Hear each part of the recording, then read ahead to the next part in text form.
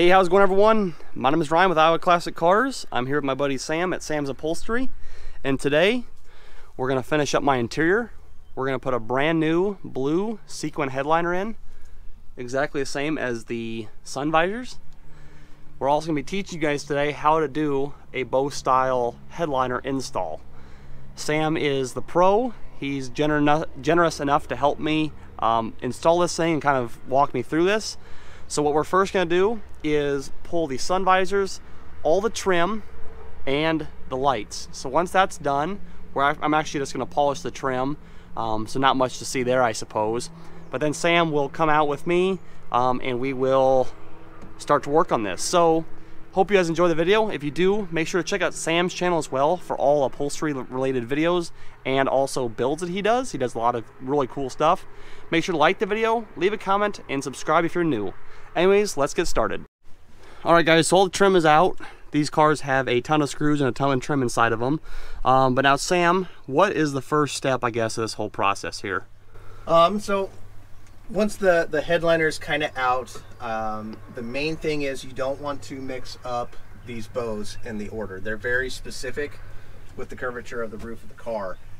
Um, after those um, are out and marked, um, the next we'll, thing we'll do is we'll uh, we'll clean up these tack strips. You know, Ryan's kind of spoiling me today because they're actually still here. Um, so we don't have to go through and bend these little tabs and put in a new tack strip around the the sides and the back and the front window. Um, we, we go through and we pull out all the little staples. That's kind of what I've started doing. Just so when you see there's a ton of them in here. Now is that now do you have to do that or just give it a cleaner look? It gives it a little bit cleaner look. Uh, you know your trim's going to hide all that, so just kind of how how detailed do you want to get with it. Um, you know that the, these are still pretty supple. They're not hard like a brick, so they're, they're coming out pretty easy. So I'm, I'm probably just going to wrap up and pull all these out before we pull these bows out.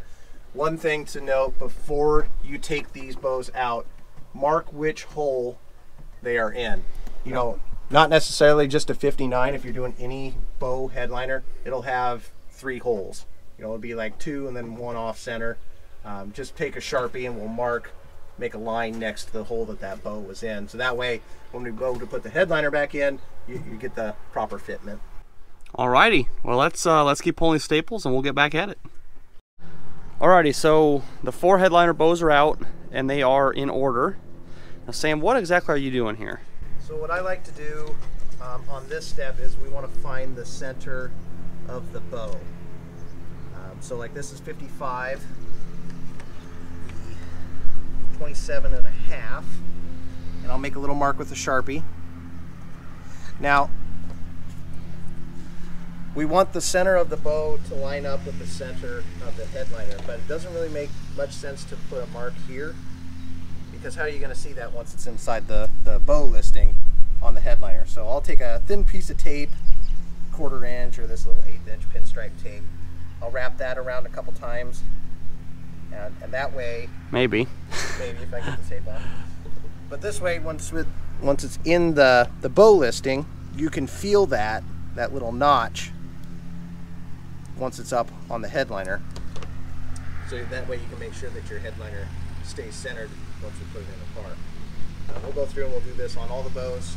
That way, uh, and then, and then the next step is we'll stick this inside the, the bow listings itself. So. All right, Sam, what's the next step here, buddy? So we're going to feed these bows through this bow listing on the back side of the headliner. Um, one thing you kind of want to do first, um, if you have a steamer, go ahead and steam this, get all the, the wrinkles from the folded, uh, when it was folded inside the box and everything. Now, how do you know which side is front, which side's back? Most, most headliners are labeled. Oh. See, this says front. Perfect. Right up here. And then most of the time they have a center line going through. So what I do is I go through and I, I add the center line on the listing part. So that way when the bow is in there, we can feel and make sure that it lines up. And this cardboard is for the back, correct? Yep, so the very back it has a bunch of hooks and then that will just snag on the back side of that, and then we'll pull it okay. to the front. But uh, yeah, so if, if you don't have a steamer, throw it out on the driveway, let it kind of get soft and supple, relax all those uh, fold marks in there. Um, but yeah, you just kind of spread this apart.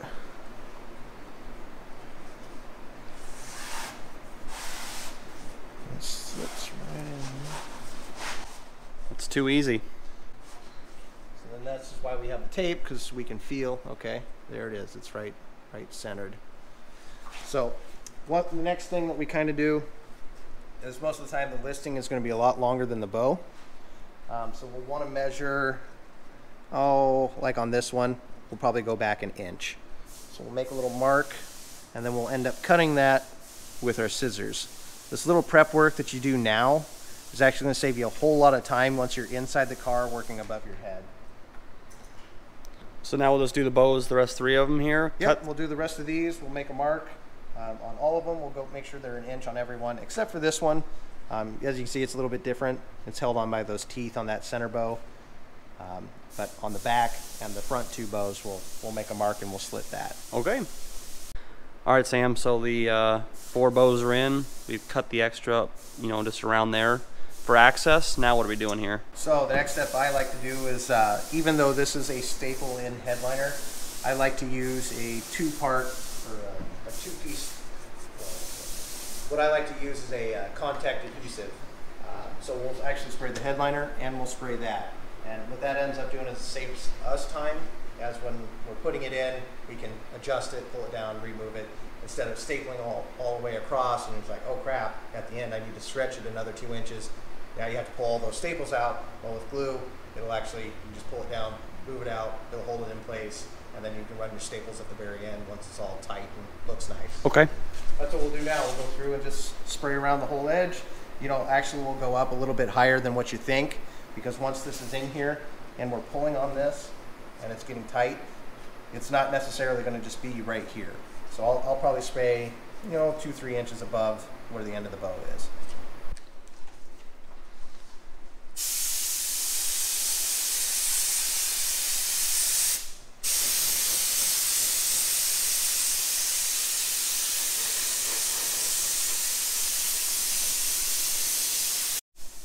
Right, Sam. What are you doing here exactly? So this is the this is why it's a two-part adhesive. You spray the headliner, and then the second part is we'll spray around the edges of the uh, where, where the tack strips and stuff are in the car.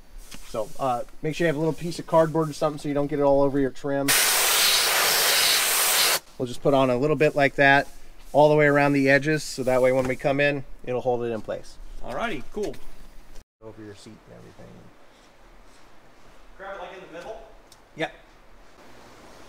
So I'm going to have Ryan help me here, and he'll actually pass the, headliner into me. Typically, with bow style headliners, we want to start in the middle and then stretch it front and back. But with these clips in the back, it actually has a little cardboard end like this that's actually going to sit in these little retainer clips. So we'll start in the back and then we'll pull it forward. So we do this. Press it on into there. Drape it over your seat. Me. All right. like. You want to pull this forward? Yeah, a little bit. Sit in here.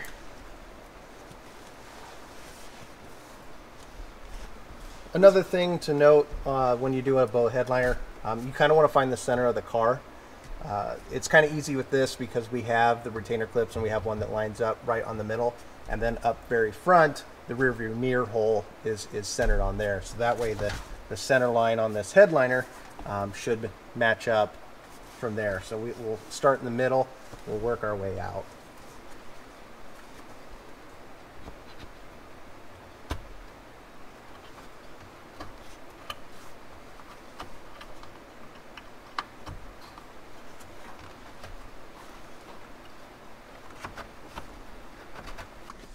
So now that we got these rear um, cardboard clips in, we're going to go through and line it up with the hole that we marked earlier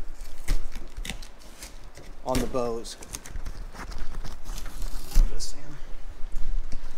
So we, we marked those holes earlier with the bows, and then we'll go through and we'll feed that back in that hole.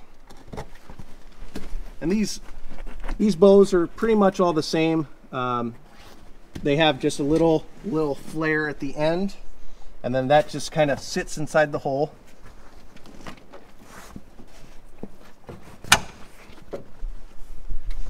A lot of times you got to kind of finesse it.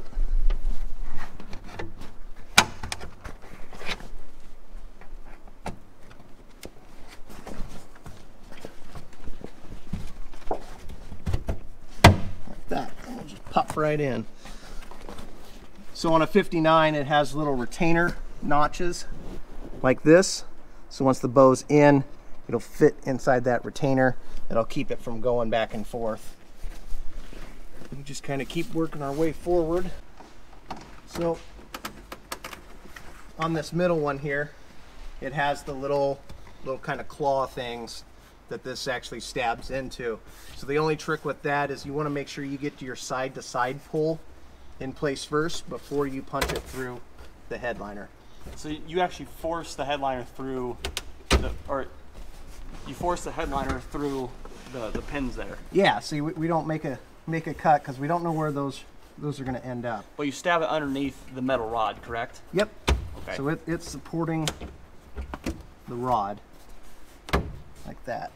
Just go through, we'll tug it, making sure that you know you don't want to you don't want to get too far off center. You know, we still have that tape mark and everything. We kind of want that all to line up. And right now, you know, I'm about about a quarter inch to the right, which it's not going to kill us.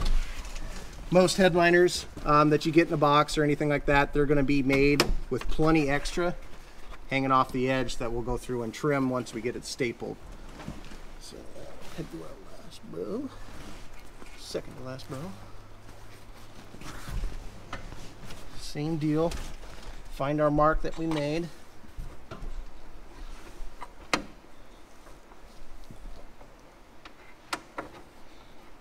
Get to sit in that channel.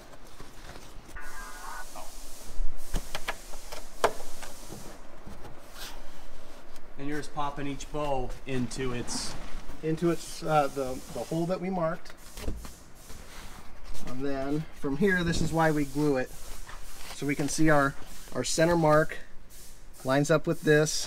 Which is that uh, mirror screw, which is the center. Right, that's the center of the roof of the car, and then we're gonna give this one good pull, pulling that pretty tight. So now all the headliners are gonna have this. It's gonna have like this little wrinkle.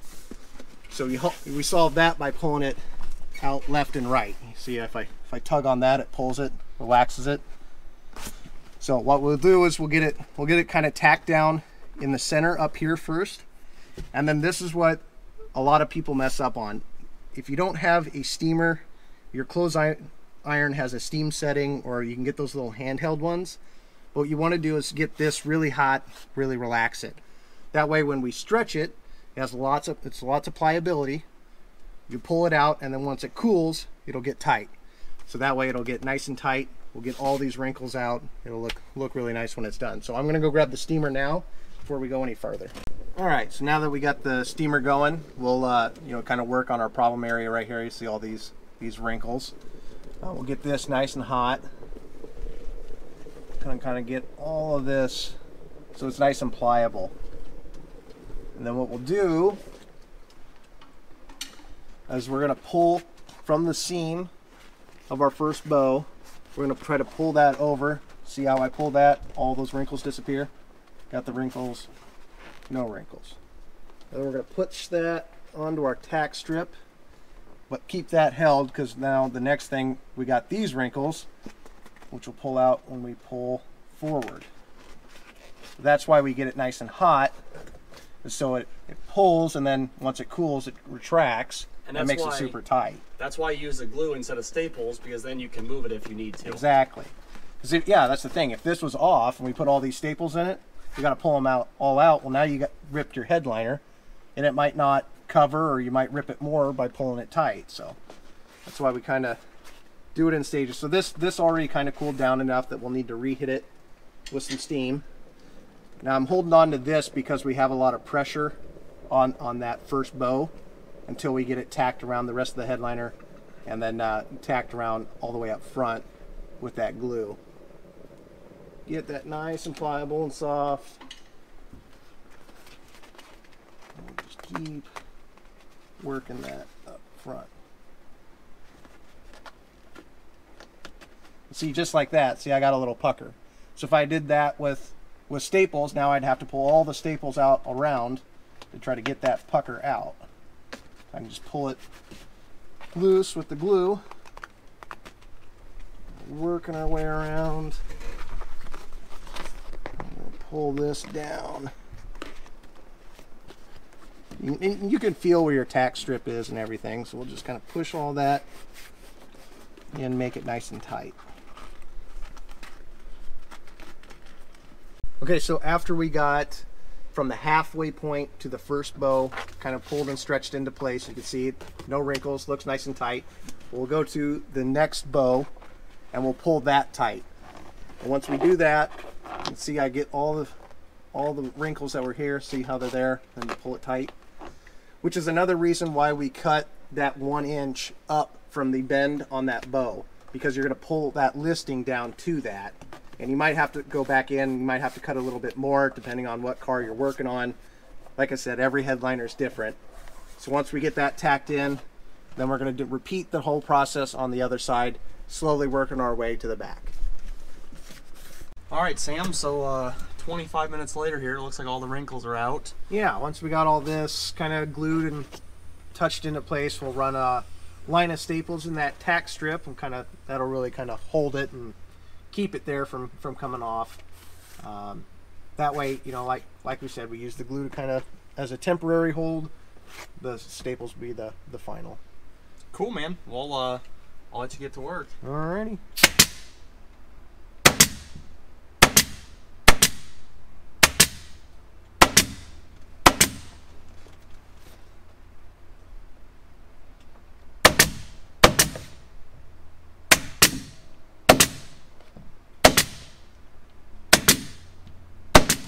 Does it matter how close you are? Or?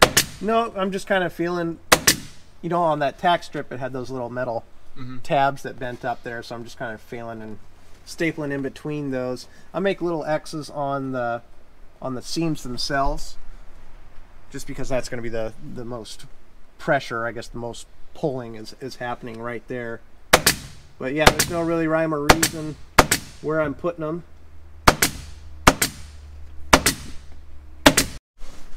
All right, Sam, what's the proper technique here to uh, trim off all this excess we've got? Yeah, so once we get it all stapled on, we'll just take a just a razor blade, something sharp, and then we'll cut that right on the bottom side. Of the staples? Yep, right, you'll kind of feel where the edge of that, that metal liner is. Oh, okay. Um, if we cut there, then all our trim and everything will hide any of the X or any of that raw edge. Just kind of cut it down like that. Then we'll just do that all the way across and along the back side.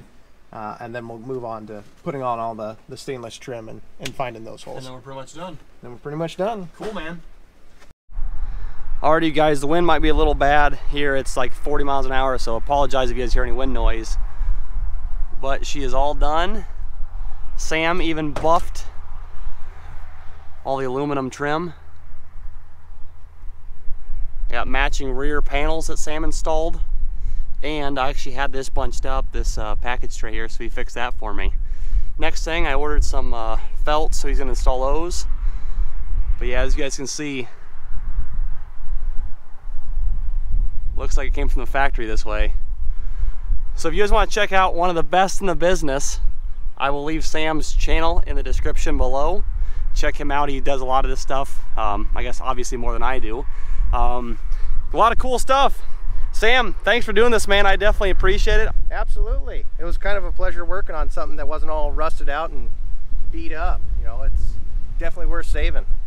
Everyone, this guy right here, he is the best in the business. If you want to do business with him and bring your car and, and win every show, bring it to Sam. So, like I said, you guys, I'll leave his channel in the description below. But yeah, this is uh, this is the end of today's video. Make sure to leave a like if you enjoyed it and subscribe if you're new. Thank you all for watching. My name is Ryan with Iowa Classic Cars and I will catch you next time.